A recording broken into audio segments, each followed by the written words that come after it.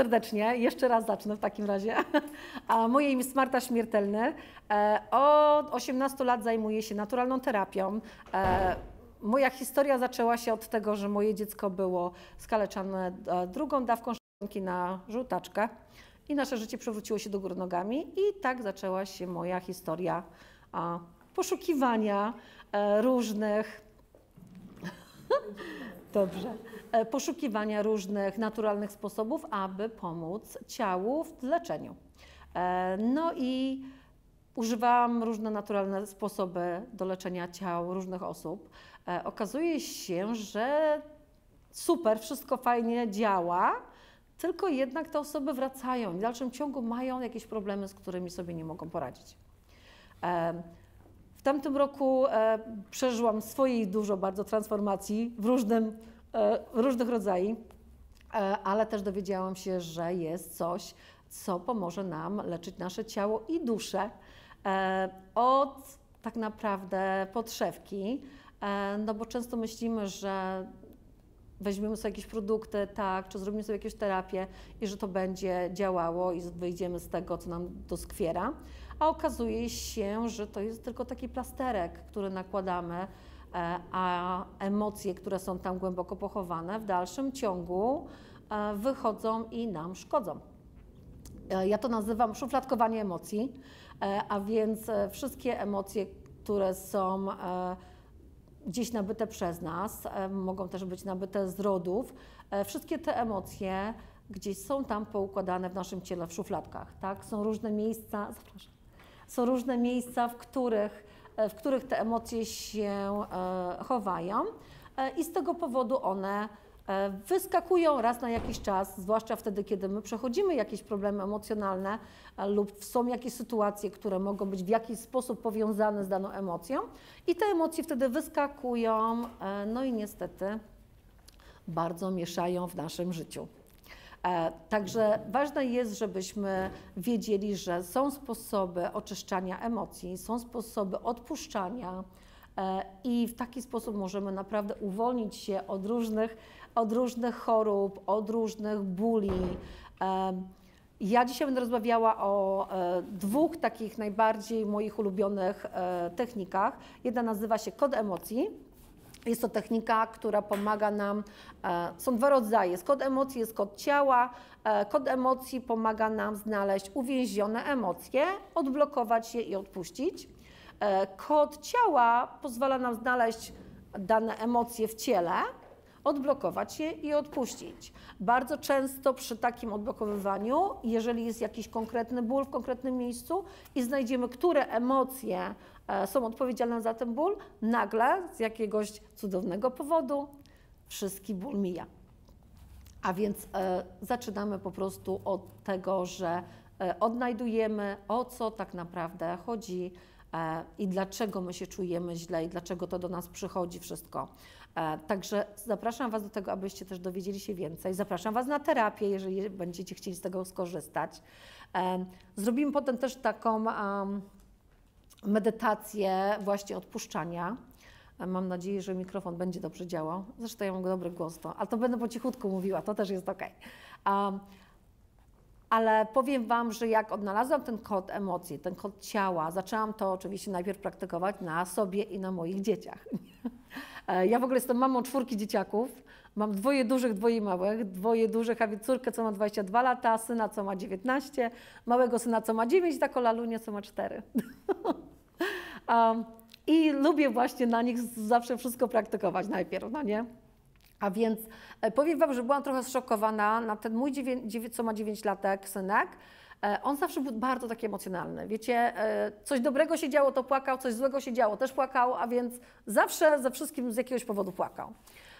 No i zrobiłam mu pierwszą taką sesję właśnie odblokowywania tych emocji i powiem Wam, że byłam zszokowana, bo wszystkie emocje, które się u niego pokazały za tym pierwszym razem, były to trauma taka fizyczna trauma i była taka trochę zdziwiona, że myślę, o okej, okay, zobaczymy, co to takiego wyjdzie. A więc e, e, ciało nam powiedziało, że musimy sprawdzić, co to są za emocje i wejść troszeczkę w te emocje. No i znaleźliśmy, że to się wydarzyło. Pierwsza emocja wydarzyła się między jego datą urodzenia a pierwszym rokiem życia. E, szybciutko wiedzieliśmy, co się stało, dlatego że e, jak on miał 7 miesięcy, mieliśmy bardzo poważny wypadek samochodowy. E, no i gdzieś to się w nim tam zakodowało. Druga emocja, e, o której wiecie, ja w ogóle wypisałam sobie ją gdzieś z mojej głowy, całkowicie zapomniałam, była uwięziona między drugim a trzecim rokiem życia. E, I naprawdę ciężko mi było przypomnieć, co to było. E, A on biegał z psem naokoło schodów, e, poślizgnął się, uderzył w st- stolik głową, rozciął sobie całą brew, a więc wszystko spadło tak na oko. Zajęło nam 5 godzin, żeby przyszedł doktor Plastek i okazało się, że po 5 godzinach doktor powiedział, no ale ja już tutaj nie mam co robić, e, a więc tylko skleili mu po prostu tym żelem i to było wszystko, przy czym byliśmy w szpitalu cały dzień. E, Także ja sobie jakoś to gdzieś wymazałam, no ale on też to gdzieś poszufladkował i zaczynało to po prostu wychodzić.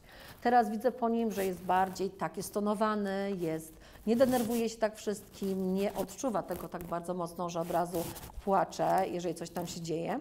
E, Także rezultaty są bardzo ciekawe.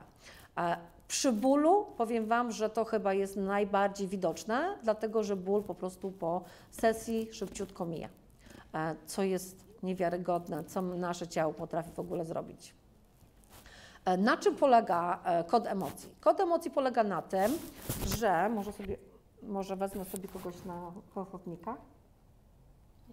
Proszę.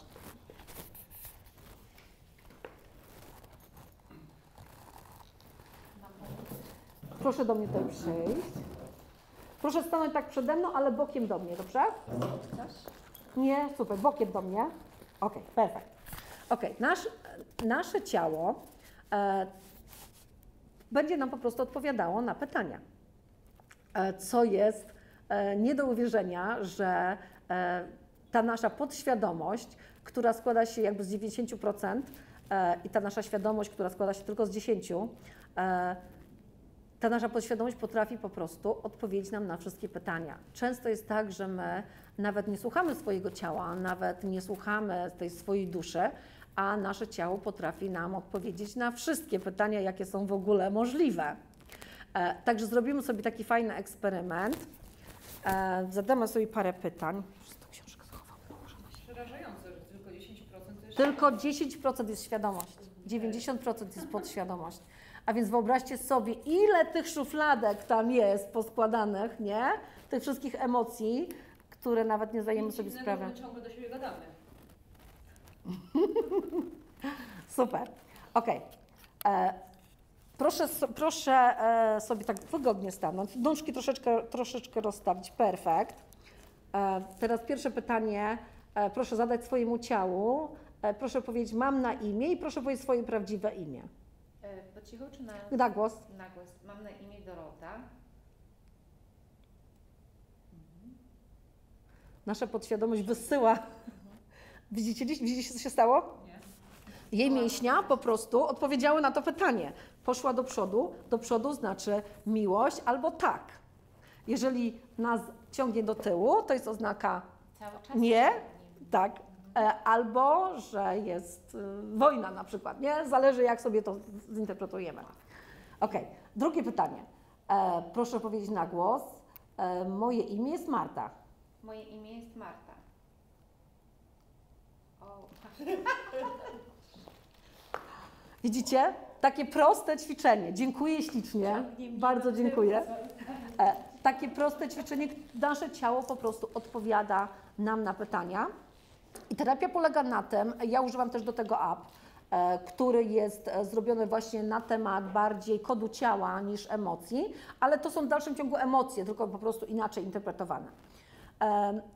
No i nasze ciało wtedy odpowiada nam. E, Tak, to jest ten test, który zrobiliśmy teraz, pokazuje nam, czy jest ta, to połączenie energetyczne i wtedy, czy ciało rzeczywiście jest w stanie nam powiedzieć, że tak lub nie. A jeżeli... Mhm. ale to było bardzo łatwe. Ja próbowałam to robić w domu i to nie, nie byłam w stanie Okej. siebie. Czy, czy tutaj, nie wiem, coś trzeba robić, Nic. Dokładnie siebie odczytywać? Trzeba się wyluzować. Dobrze jest też wypić sobie szklankę wody, jeżeli czujesz, że ci to nie wychodzi, szklankę wody, żeby po prostu organizm się nawodnił e, i dać chwilkę po prostu na taki, taki relaks. To było niesamowite. Domu próbowałam, nie wychodziło mi, a tutaj... Cieszę się bardzo. No było widać pięknie, Tak. było naprawdę pięknie widać. Um, a więc zadajemy te pytania i wchodzimy po prostu w całe ciało. E, jeżeli szukamy emocji, mamy listę emocji, e, wyszukujemy sobie, w której jest rubryce, potem wyszukujemy sobie, jaka jest emocja. E, czasami nam ciało powie, że musimy wejść w tą emocję i zajrzeć głębiej, a czasami nam ciało powie, że jest ok, możemy już po prostu tą emocję odpuścić. Używamy do odpuszczania emocji, używamy magnesu, jakiegokolwiek. E, Zaczynamy sobie tutaj od górnej, od górnej wargi i smarujemy sobie magnesem tak przez całą głowę, aż tutaj dokąd dosięgniemy. Ok? Robimy to trzy razy. Um, parę moich na przykład klientek takich młodziutkich, mam trzy klientki, co mają po 14 lat, e, robiąc im na przykład przez cały ten medrian e, magnesem, one w pewnym momencie mi mówią, ok, poczułam. A więc to też jest ciekawe, że gdzieś w którymś miejscu to się uwolniło i one to poczuły, to uwolnienie. E, I na przykład jedna dziewczyna miała bardzo duże problemy z żołądkiem. Jej, jej em, emocja była zamartwianie się.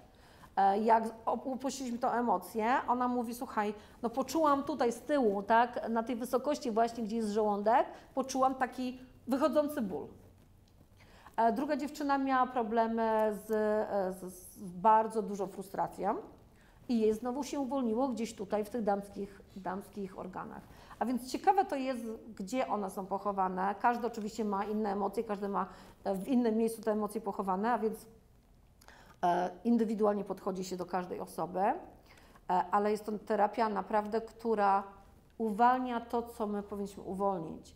A więc nie maskujemy już tego, nie, nie nakładamy tych plasterków, żeby pomóc nam czu- poczuć się lepiej, e, tylko naprawdę uwalniamy to z siebie i emocje już te same nie wracają. A więc może się na przykład przytrafić za jakiś tam czas, że podobna emocja związana z czymś tam się wydarzy. E, Wtedy też trzeba pa- pamiętać o tym, że jak czujecie, że zaczyna się jakiś ból, to to jest ten moment, kiedy trzeba się zastanowić nad tym, hmm, co się wydarzyło, nie? Co się wydarzyło, dlaczego ja czuję teraz ból. E, Fajna jest też e, taka praktyka, nie wiem czy znacie totalną biologię. Używając też totalnej biologii, e, możemy sobie pomóc, patrząc na to, co jest związane z danym miejscem, tak, z danym miejscem w ciele.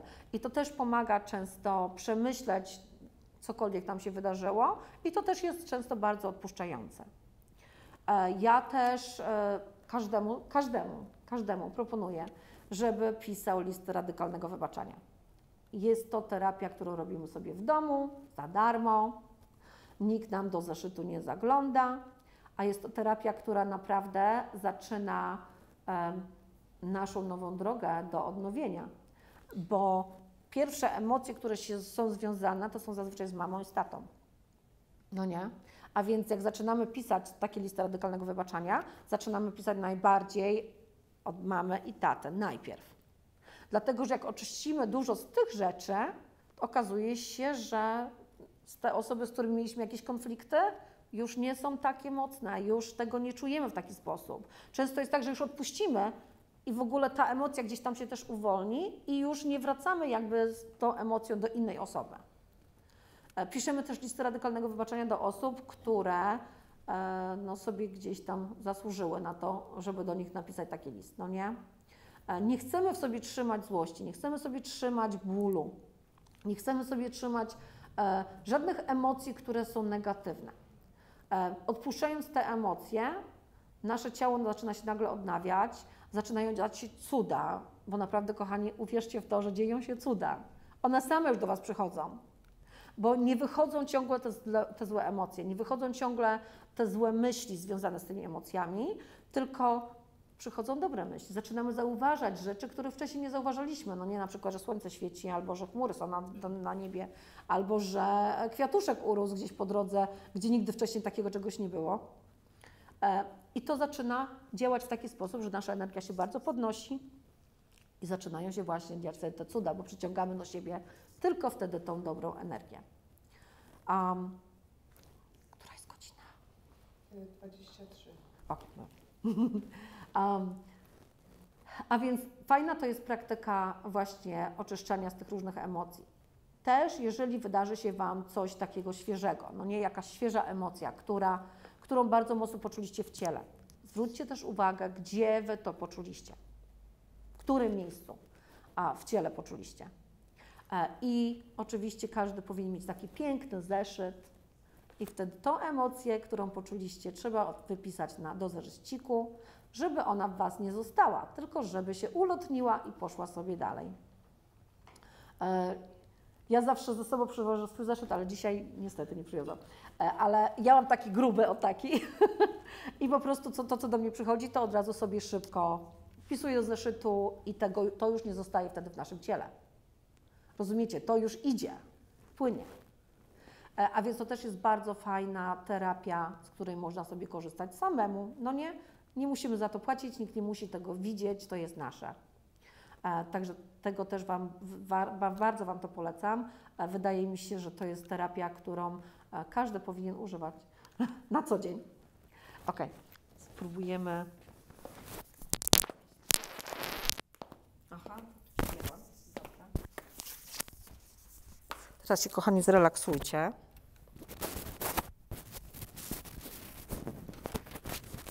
Nie będzie mi widać. Wezmę sobie komputer. Jeżeli ktoś jeszcze nie skorzysta, to proszę, to jest moja wizytówka. Proszę się też posmarować. Mam tutaj dla Was specjalną mieszankę e, olejkową. Nazywa się Miłość z intencją. Proszę sobie na czakrę serca najlepiej posmarować. E, miłość z intencją, przyszła z miłością, e, a więc tu tak. E, mieszanka, która ma zadanie e, pomóc nam pokochać siebie. Mieszanka, która ma zadanie pomóc nam znaleźć osobę, która nas pokocha. Mieszanka, która ma zadanie pomóc nam w miłości partnerskiej. E,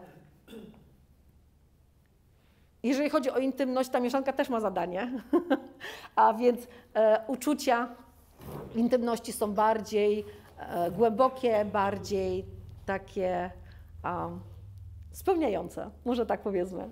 Ale to jest mieszanka, tak, tak jak powiedziałam, miłość z intencją, a więc używając takiej mieszanki, dobrze sobie zawsze jest, nakładając ją na ciało, pomyśleć o jakiejś intencji. A więc intencja na przykład przyciągnięcia do siebie miłości, no nie? Intencja um, pokochania siebie, bo często też tego nam brakuje. E, intencja, jeżeli jesteśmy z partnerem, żebyśmy mieli cudowny czas razem, żeby nasz związek był fajniejszy, żeby em, zaczęły dziać się jakieś fajne rzeczy w naszym życiu. A więc po prostu zależy, jaką intencję potrzebujecie w danym momencie. Ok? Dałam wizytówki? Proszę. Proszę. Proszę.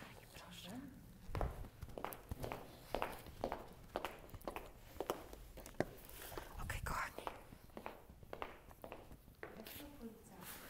Ja mieszkam w Pensylwanii, ale jestem bardzo często w Nowym Jorku, jestem bardzo często w New Jersey, em, także zależy. e, Też przyjeżdżam do klientów.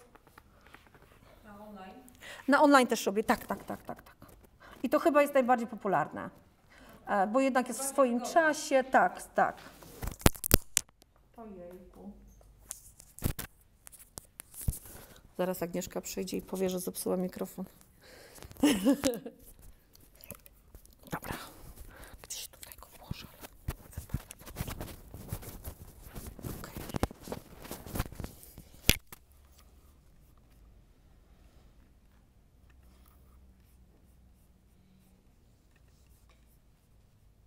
Przygotowałam dla Was em, taką medytację, techniką uwalniania.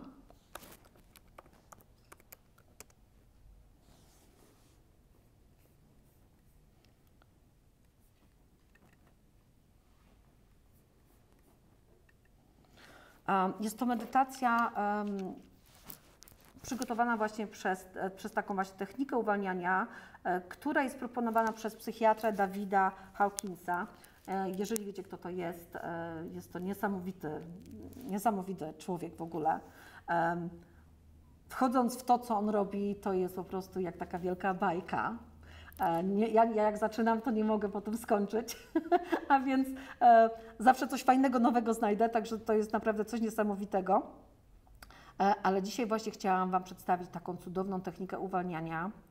E, usiądźcie sobie wygodnie, wydłużcie sobie kręgosłupy i pozwólcie, żeby Wasze powieki opadły, by łatwiej skoncentrować się na wnętrzu. Weźcie kilka spokojnych oddechów.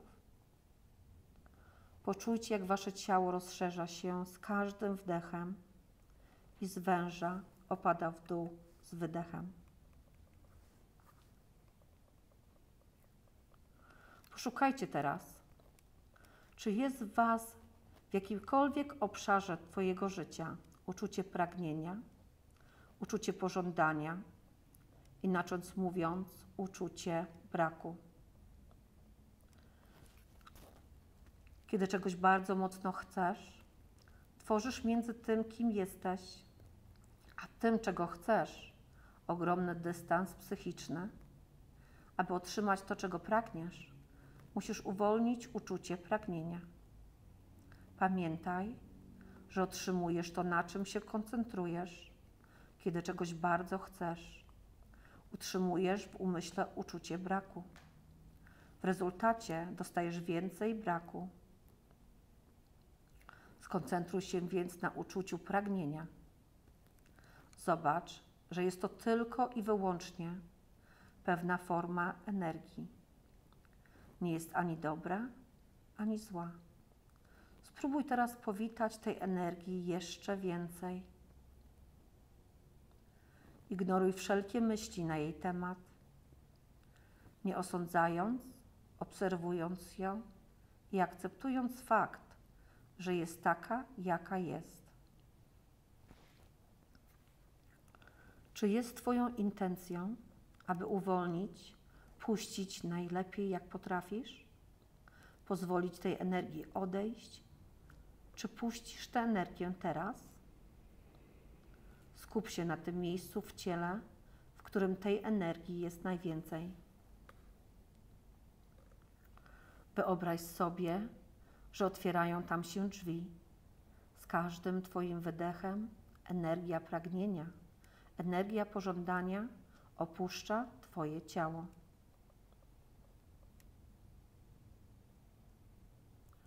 Zobacz, czy jest w Tobie jakiekolwiek pragnienie kontrolowania przyszłości, planowania, przewidywania przyszłości i związane z nią napięcie. Czy uważasz, że planowanie, przewidywanie przyszłości to przejaw dorosłości, dojrzałości czy odpowiedzialności? Pamiętaj, że najpiękniejsze rzeczy przychodzą same, bez najmniejszego wysiłku. Czy uwolnisz teraz, czy puścisz to pragnienie kontrolowania przyszłości, które jest w tobie? Otwórz drzwi w tym miejscu w ciele, w którym czujesz tej energii najwięcej. Z każdym wydechem energia pragnienia kontrolowania przyszłości opuszcza Twoje ciało. Sprawdź teraz, czy widzisz w sobie uczucie pragnienia, aprobatę ze strony innych osób, akceptacji ze strony innych osób. I powitaj tej energii jeszcze więcej, ignorując wszelkie myśli na jej temat i nie stawiając żadnego oporu. I otwórz drzwi. Pozwól tej energii pragnienia, akceptacji i aprobaty innych osób odejść. Obserwuj, jak opuszcza Twoje ciało z każdym wydechem. Zobacz, czy jest w Tobie pragnienie, by być bezpieczną, bezpiecznym dzięki komuś lub czemuś na zewnątrz siebie. Niestety, nigdy nic na zewnątrz Ciebie nie wypełni Twojego braku bezpieczeństwa, Kiedy wierzysz, że coś na zewnątrz ciebie da ci poczucie bezpieczeństwa, stajesz się wewnętrznie bezsilna lub bezsilny. Masz poczucie niemocy, gdyż uzależniasz swoje poczucie bezpieczeństwa od świata zewnętrznego, a nad nim nie masz kontroli. Czy jest Twoją intencją uwolnić to poczucie braku bezpieczeństwa, które masz w sobie? Czy uwalniasz je najlepiej, jak potrafisz? Pragnienie bycia bezpieczną lub bezpiecznym, czy pozwolisz tej energii odejść? Otwórz drzwi w tym miejscu w ciele, którym tej energii czujesz najwięcej i obserwuj, jak ta energia opuszcza Twoje ciało z każdym wydechem. Zajrzyj jeszcze raz głęboko do swojego wnętrza i sprawdź, czy jest w Tobie jakiekolwiek pragnienie posiadania pieniędzy, inaczej mówiąc, poczucie braku pieniędzy? Czy jest Twoją intencją, aby uwolnić uczucie braku, niedostatku, nie stawiając mu żadnego oporu, akceptując to takim, jakim jest? Otwórz drzwi i pozwól, aby energia braku pieniędzy, niedostatku opuściła Twoje ciało. Każda choroba jest wynikiem Twojego cierpienia z powodu tego, że rzeczywistość jest inna niż tego oczekujesz. Odszukaj więc w sobie pragnienie, by inni zachowywali się tak, jak tego oczekujesz. Pragnienie, by świat wokół Ciebie wyglądał, zachowywał się zgodnie z Twoimi oczekiwaniami. Gdy uwolnisz to pragnienie, uzyskasz moc. Przestaniesz uzależniać swoje szczęście od tego, na co nie masz wpływu. Czy jesteś gotowa lub gotowy, by uwolnić pragnienie kontrolowania innych? Otwórz drzwi w tym miejscu w ciele, w którym tej energii jest najwięcej i nie osądzając, ignorując wszelkie myśli na jej temat, obserwuj, jak opuszcza Twoje ciało pragnienia kontrolowania innych. Czy jest w Tobie uczucie pragnienia, pożądania czegokolwiek, w jakikolwiek skwerze Twojego życia? Czego pragniesz, bez czego Twoje życie wydaje się nie mieć sensu? Pragniesz miłości, szacunku, dziecka, partnera, awansu, akceptacji? Pamiętaj, że wysyłasz światu sygnał nie mam. Koncentrujesz się więc na braku. Uczucie pragnienia to tylko energia. Możesz teraz zdecydować o tym, by ją uwolnić. Obserwuj, jak energia pragnienia opuszcza Twoje ciało z każdym wydechem i raz jeszcze skoncentruj się na energii uczucia pragnienia. Sprawdź, czy jest w Tobie pragnienie kontrolowania ludzi, rzeczy, zdarzeń. Pragnienie kontrolowania bierze się z pychy. Możesz myśleć, że to przejaw odpowiedzialności, dojrzałości, ale to tylko złudzenie kierowane przez nasze ego. Ego zrodziło się z wyobrażenia o oddzieleniu, zawsze będziesz bronić swojej odrębności. Kontrola to potrzeba podporządkowania tego, co wydaje się być na zewnątrz ciebie. Pochłania ogromną ilość energii. Wiedz, że oddzielenie to iluzja. Nie ma ani jednej myśli, którą możesz zachować wyłącznie dla siebie. Przeciwieństwem pragnienia kontrolowania jest pokora i zaufanie, że wszystko, co się dzieje, jest właściwe i zawsze pojawia się we właściwym czasie. Sprawdź więc, czy jest w tobie energia pragnienia kontroli, akceptując ją całkowicie taką, jaka jest, nie osądzając siebie. Czy jest Twoją intencją uwolnić uczucie oporu przed pokorą i zaufaniem? Czy jesteś gotowa lub gotowy to zrobić? Jeśli tak, otwórz drzwi w tym miejscu w ciele, w którym energii opory przed pokorą i zaufaniem jest najwięcej. i obserwuj, jak ta energia opuszcza Twoje ciało z każdym wydechem. Weź jeszcze kilka świadomych oddechów. Długie, energetyzujące wdechy, powolne, jeszcze dłuższe, oczyszczające wydechy. I podziękuj sobie za tą praktykę, za to, co dla siebie dzisiaj zrobiłaś lub zrobiłeś, i pozwól w swoim czasie otworzyć oczy.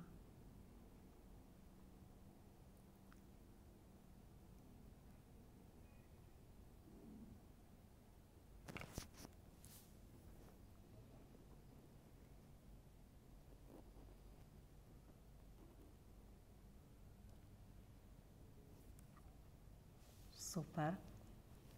Jakie wrażenia? Co tam się podziało w Was? Zasnąłeś? O, to super. Bo właśnie jeżeli chodzi o medytację, to najcudowniejszy moment jest wtedy, kiedy my jesteśmy e, prawie w tym śnie. A więc poszło to bardzo głęboko w Twoje ciało. Bardzo fajnie. Bardzo fajnie. Pa- przypomni Ci się, jak zaczniesz odczuwać jakieś rzeczy. A także będzie wtedy wiedział, co się wydarzyło. Ktoś chce się podzielić swoimi wrażeniami? Proszę? Przyjemnie, prawda? E, widzieliście, widzieliście tą energię w sobie, czuliście tą energię, której chcieliście się pozbyć? Czuliście, jak ona odchodzi? To pewno będzie do tego pracy, e, ale czuliście po prostu takie, takie troszeczkę przynajmniej jakieś uwolnienie, e, że jednak te programy, o których dzisiaj powiedziałam, tak, nie nazywałam ich programy, ale w tej medytacji są e, programy, które gdzieś tam są na nas ponakładane, a więc e, odpuszczaliście w pewnym momencie te swoje programy. I na pewno już teraz będziecie bardziej świadomi tego, jeżeli przyjdzie do Was któraś z tych, z któryś z tych programów, że coś takiego w ogóle przeszło przez Wasze ciało. Macie jeszcze jakieś pytania? Czy podzielić się tam tekstem, dałaś? Tak, oczywiście, oczywiście. To też będzie, będzie nagranie w połączeniu z kongami z lisami e, właśnie tej, tej medytacji. E, Także będziemy mieć jakby dwie terapie w jednej. Także to też będzie coś cudownego, e, co będzie dostępne dla Was wszystkich. A, nagranie jest nagranie. Jeszcze nie ma. Będzie- Te nagranie będzie, tak, te nagranie będzie można sobie odtworzyć, obejrzeć sobie, ale to, o którym ja mówię z tymi gongami, e, to będzie dopiero gdzieś około miesiąca, zanim ono w ogóle będzie dostępne. Myślałam, że to będzie. o, Tak, no niestety nie. Jeszcze nie. W następnym roku będzie troszeczkę, troszeczkę szybciej wszystko. Um, ale cieszę się bardzo, że byliście tutaj. Cieszę się bardzo, że mogłam Wam przedstawić, e, jak działa e, uwalnianie z emocji. Mam nadzieję, że skorzystacie e, z różnych sposobów, aby uwalniać te emocje. Nie będziecie trzymać ich w sobie. E, Powiedzcie mi też, jak Wy wchodzicie w jakąś emocję. W jaki sposób odczuwacie? Czy czujecie, że od razu zamykacie się? Jesteśmy ciągle na wdechu, ale tak naprawdę nie oddychamy. Zamykając się w taki sposób, co my robimy? My narażamy naszą czakrę serca na zablokowanie. Jeżeli nasza czakra serca jest zablokowana, wtedy jest bardzo ciężko wyjść po prostu z danej emocji, tak? Dlatego, że wtedy jakby to nasze serce nie otwiera się i nie pozwala nam uwalniać się z tego wszystkiego. E, Dlatego staramy się, jeżeli czujemy, że nas gdzieś tam coś się dzieje w naszym życiu i czujemy, że ta emocja na nas nachodzi, starajcie się sobie tą emocję przerzucić na coś innego. Przerzućcie sobie ją na coś, co wy lubicie robić. E, Wyobraźcie sobie jakiś obraz, który, wakacje na przykład, na których byliście i macie cudowne wspomnienia. E, Ja zawsze się śmieję, że najlepszą, najlepszą, najlepszą wakacją na takie sytuacje jest wyjść z domu, a więc idziemy na spacer, no nie? Dlatego, żeby, żeby przerzucić tą, tą myśl, żeby nie wchodzić jakby w tą emocję i nie zakręcać się w niej i nie przemyślać wszystkiego i nie e, pracować nad tym, żeby to jeszcze bardziej było e, wszędzie w naszym ciele, tylko zmieniamy po prostu myśl. Szukamy czegoś, co pomoże nam przestać myśleć o tej emocji. Okay? Macie jakieś pytania?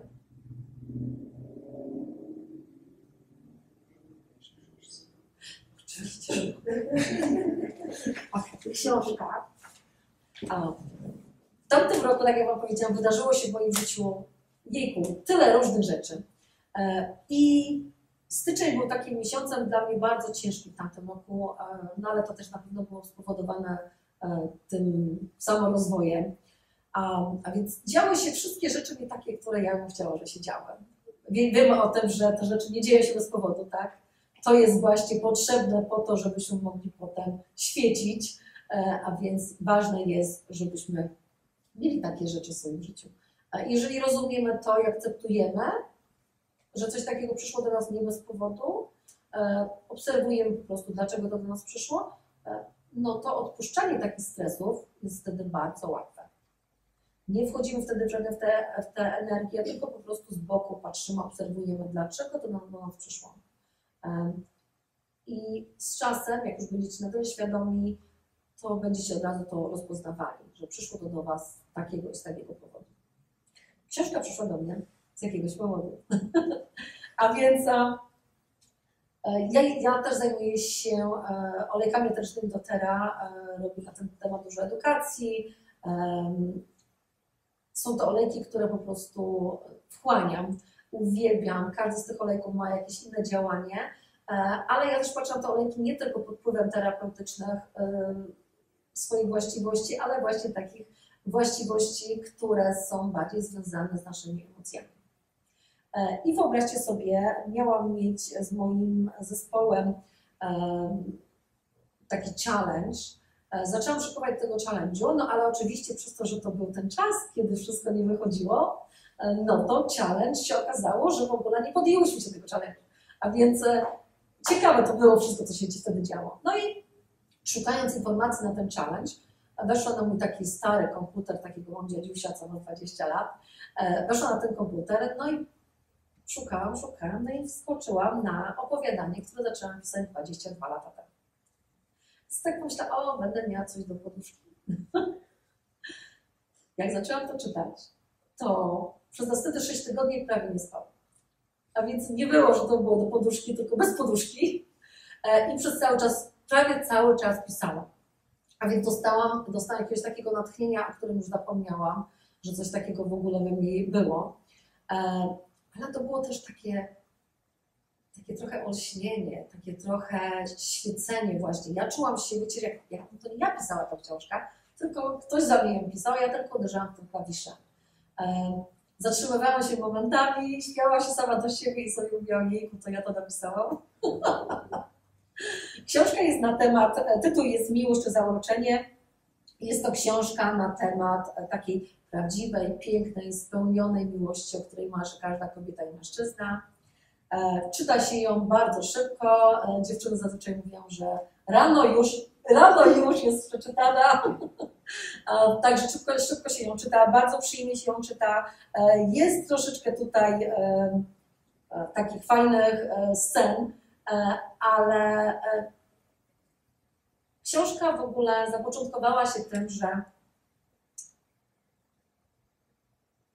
ja też szukałam w sobie tej miłości, czegoś, czego mi gdzieś tam brakowało. I to chyba jest powód, dlaczego to wszystko wypłynęło na ten papier. A więc wypłynęło to, o czym ja marzyłam, tak? To, o czym ja, e, to czego ja bym chciała, to, jakiego ja związku bym chciała.